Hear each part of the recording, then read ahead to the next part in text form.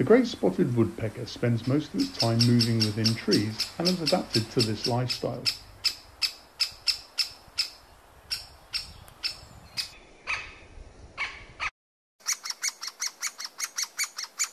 These include the zygodactyl arrangement of the feet, with two toes facing forward and two backwards, and the stiff tail feathers that are used as a prop against the trunk.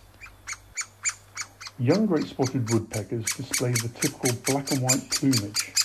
A chick's crown is red and its abdomen is gold. Insects can be impaled on their pointed beaks by breaking the bark of the tree. The feeding interval is prolonged. The chick kills time waiting for the parents to be fed.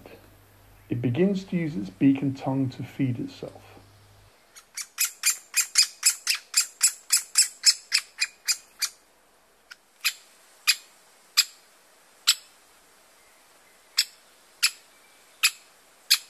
This is the final footage and the first moments of flight after leaving the nest.